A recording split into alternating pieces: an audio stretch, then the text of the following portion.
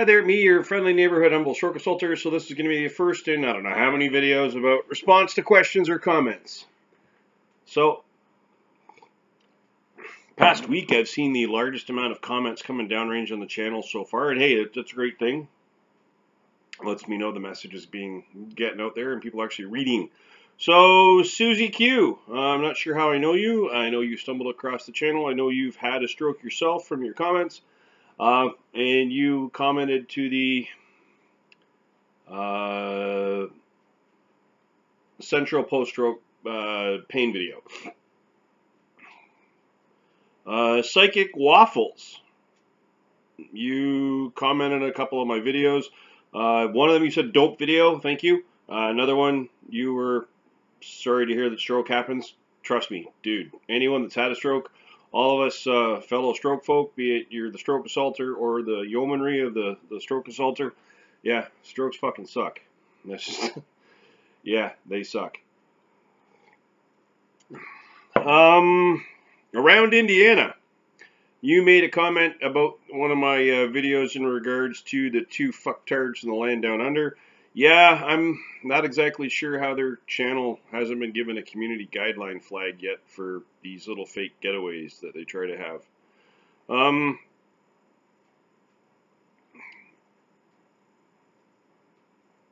Bradford, again, you made some comments. Thank you very much. Um, now, there was one comment that I was kind of perplexed about. I didn't really know the comment was made till about an hour ago. So, which video was that on? So I made a video on being self-conscious in public after a stroke. Because that is a thing for some of us stroke folk, right? And unfortunately, you know, I made the video on December 4th. It's currently the 13th. It's almost 10 days ago. And I must, this one skipped right by me. Five days ago, Seamus Sky, um, you posted a comment, I'm happy you had a stroke. Um, could you please elaborate what you mean? Because either you're happy that I am able to give content about strokes and I'm trying to be a bit upbeat about it, informative about it, or you're happy that my brain tried to kill me. I'm not really sure where you fall in on that spectrum. So if you could kind of, you know, give some clarity to your thinking, that'd be great. Now, one of my commenters, was it? Susie Q, you asked, um, you seem that you you you mentioned that I seem to be pretty uh, switched on uh, about what's going on with a stroke. Um, and so, how do I know what I know? Well, one, I went to school uh, to work in mental health. Uh, two, I worked in various programs in mental health, be it with uh, young offenders. Uh, that I worked in a program specifically for young offenders here in Ontario that was geared towards highly psychiatric, highly disturbed young offenders, sex offending youth. I encountered a few youth there that were um, a byproduct of a brain injury. I then worked in what's called the CAS system, Children's Aid Society. Uh, here as well, I worked in a mental health facility on an adolescent crisis and assessment unit. Um, I also worked with acquired brain injury clients or traumatic brain injury clients uh, via um, their insurance companies as a uh, like a personal support worker. Um, I worked with uh, several clients, one of them for about two and a half years. Uh, I got you know so I've and so I've I've seen brain injury uh, academically and clinically. Uh, my grandmother she had a massive stroke when she was 84. We didn't know how long she'd been down for, so they couldn't do anything medically to save her or to restore her quality of life. And she lasted about 18 months ish um, after her stroke. So um, I got to see potentially one of the worst outcomes that you could have from a stroke. She had expressive aphasia.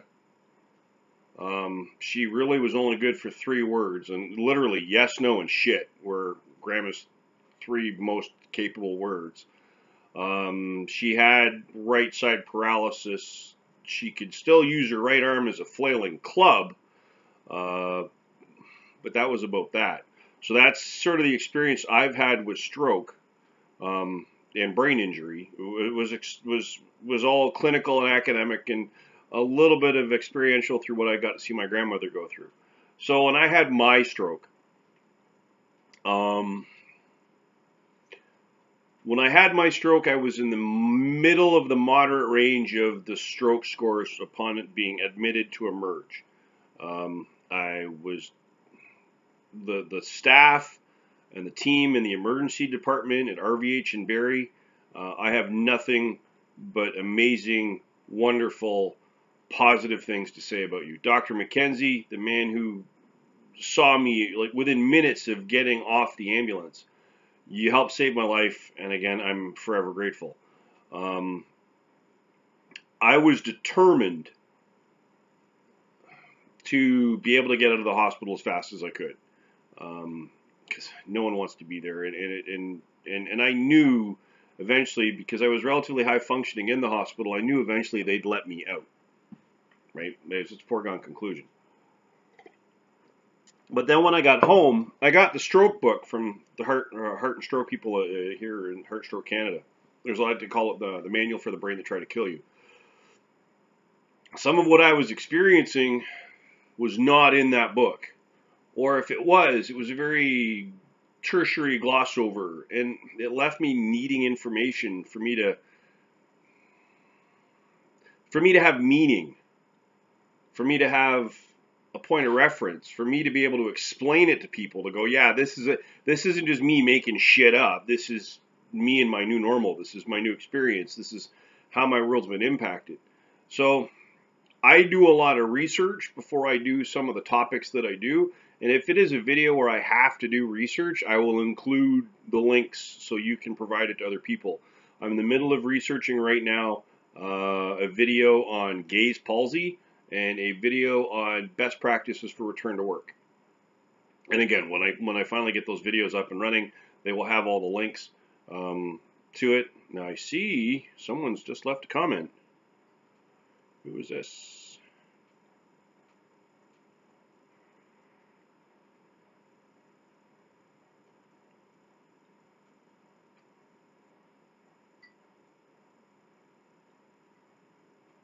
Oh, Susie Q, 10 minutes ago.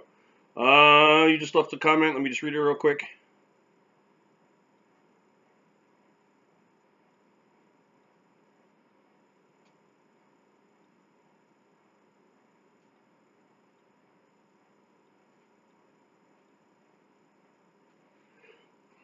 Susie, if, if, I've just read your comment, you're right now going through one of my aphasia videos, right? Um, if you want to see how bad my aphasia looked, go to Day One Freedom. Uh, forget the whole Max Headroom piece. That's my buddy Dave attempting to display humor. Um, unfortunately, he has a birth defect. He has limited ability for effective humor. Um, it's a thing. Um, I, I, look forward to you explaining sort of more of your story, and if you care to share it, you know, I, would be happy to. You know, if there's anything you want to see me do, Susie, Q, just let me know, and I'll happily do a video on it. Um, you know, so again, I'm just going to be honest. I've now got 47 subscribers. I'm going to sue Susie. That that was you being number 47, and a thank you for joining. So the channel again was started for me to help be maintain contact for friends and family that don't live near me, that don't maybe get the chance to see me as often as they can. Um, I use very dark humor at times. There's a reason for that. One, I was scared. And when I get scared, I use offside humor, right? Because it was the only way to try to pretend for things are normal ish, right? Um, so there were times immediately after my stroke, I, I used very Monty Python-esque, Blackadder-esque, Dave Allen at Large, MASH-ish inspired humor.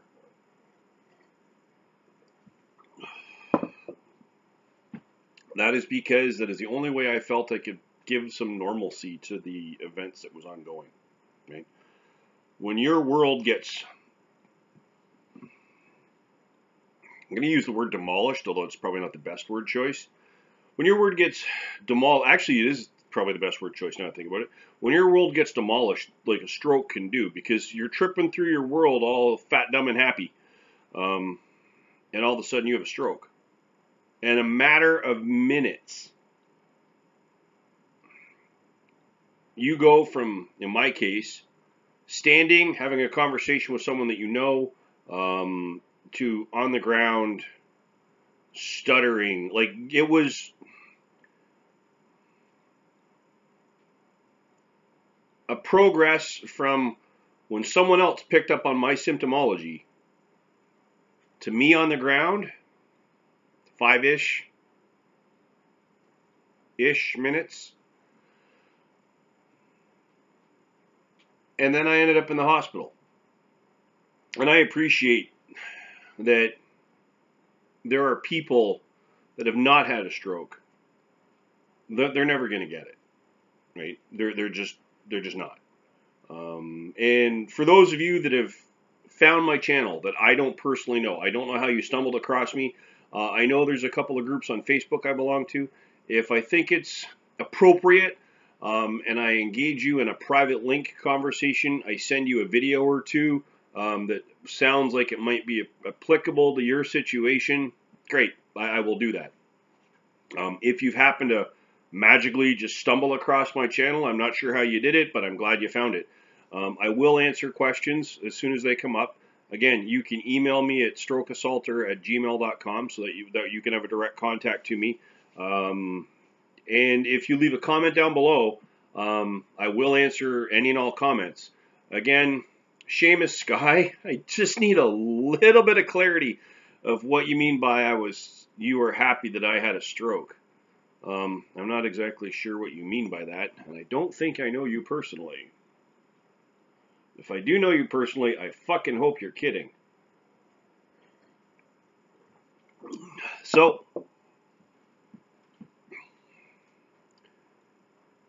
when it comes to getting through the post stroke recovery journey. Every person is unique. Every stroke is unique. The deficits, the difficulties, and the dilemmas that are created because of the stroke are again unique. There is no definitive, hard and fast benchmark. There's no witness mark. Like there, there's no survey instrument that can be used by your neurologist, your general practitioner, your physiotherapist, your occupational therapist, your speech and language ther- therapist, um, your uh, like psychological therapist, any any other person that can be involved in that clinical team. There is no hard and fast benchmark. None. None at all. Um, you will progress at the rate you're going to progress at. Are you going to feel like you're stumbling and falling? Yes. Um, you know, there is no hard and fast rule. Uh, but it is my goal uh, now because I'm, I'm getting a little bit better and I go back to work in 11 days. Right? 11 days I go back to work. It is my goal to continue to share my post-stroke journey as it morphs from me finishing a six-month leave of absence, moving on back into the workplace. And again, I'll share some of my stumbles and travels as, as I get back into the workplace for purposes of possible confidentiality and you know not getting hung up at work, um, I won't address some some issues at all, uh, and other issues I will address in generalities, vagaries, um, simply because it's something that happens at my workplace and it's not really appropriate that I air those grievances here on the internets. Um, so unless it's like a positive woohoo from work, um, you're probably not going to share it. Um, simply because it may not be appropriate. Uh, I will definitely share, as I'm in the middle of doing the research on that video right now, on best practices for return to work, and I'm doing one on gaze palsy. Now I will, like the central post-stroke central post-stroke pain video, um, I didn't have central post-stroke brain pain. I do have a central post-stroke brain though. um, so I didn't have post-stroke pain to that extent. I had some numbness, some tingling, uh, headache, but not to the sense of you know felt like my skin was on fire or or whatnot. So I will make videos about things that I did not necessarily experience, um, and I will try to provide the most research I can, the most uh, the most reference articles I can for things that I have not personally experienced. So for those of you that have experienced it, um, you may be, get, be able to get better insight. You can point it to your friends and family and go, "Hey, look, I'm not faking. Like this is this is actually a thing." Um, and you know, generally, I, it is now my goal um, as I continue my post-stroke journey and move on to my return back to work journey to continue making content. Exactly what that schedule will look like, I don't know yet, but definitely I'll, I'll make something there. And as content creates comments and questions, I will continue to answer them. And, you know, maybe once every two to three weeks, I'll do a response to comments uh, just to let you guys know that I have been reading your comments. And, and I, you know, I'm, I'm grateful that people have found the channel that I don't know yet. Uh, and for those of you that had a stroke, again, if there's anything you want to see me cover, uh, please definitely reach out to me at strokeassaulter at gmail.com. I say again, strokeassaulter at gmail.com. Uh, any any of you that are stroke supporting the yeomanry of those that are stroke folk, um, please, again, if there's questions you want to see me cover, content that you'd, you'd like to see addressed, um, please, again, email me at strokeassaulter at gmail.com. I say again, strokeassaulter at gmail.com. Or you can leave a comment on a video. Uh, you know, and I'll, I'll, if I once I see the comment, I'll definitely, you know, reach out to you and maybe ask some specifics. But ultimately, having a stroke sucks. There's just nothing to do about it. Um, and you know what? I'm not really sorry I had a stroke because I'm not looking for pity. Right? And, and, and neither is anyone else that's had a stroke. We're not looking for pity. Right? At no point during my post stroke journey have I wanted someone just to arbitrarily feel sorry for me or a sense of pity. Never been the goal. Never wanted, needed, nor desired, right? Uh, a little bit of patience, people just being present, and a little bit of perseverance. It's really all you need from your people that support you after a stroke. Uh, and I appreciate that there are people out there that misinterpret you're looking for pity, and they're just horrible humans. You can just ignore them. They they're not emotionally available, nor probably will they be. So so be it. But on that note, uh, please continue like, share, subscribe the channel. If you happen to be going through your own post-stroke journey, or you're supporting someone in their post-stroke journey, uh, or you know of someone, right, please point the channel out to them, like, share, subscribe, leave comments down below. You can reach me again at strokeassaulter at gmail.com if you have any questions. Uh, and if you happen to see either in yourself or someone around you, right, someone appears to be befuddled, and these are like relatively quick onset, right? Someone who appears to be befuddled, confused, or un, un, unaware of their surroundings and what's going on around them. Someone that has rapid onset vision issues. You see in grayscale. You can't see it in one eye. You can't move your eyes a certain direction. Up, down, left, right. Uh, someone that uh, appears to have facial droop. Uh, can't raise both arms equally effectively or at all. Uh, they're unable to smile equally effectively or at all. Slurred, stuttering speech, inappropriate word usage for situation or context. Uh, general body weakness, weakness on one side, inability to stand unaided, please immediately place that person in a position of comfort and dial 911. If you're in North America, if you're in the UK, 999. What you might do, Something so simple could save a life.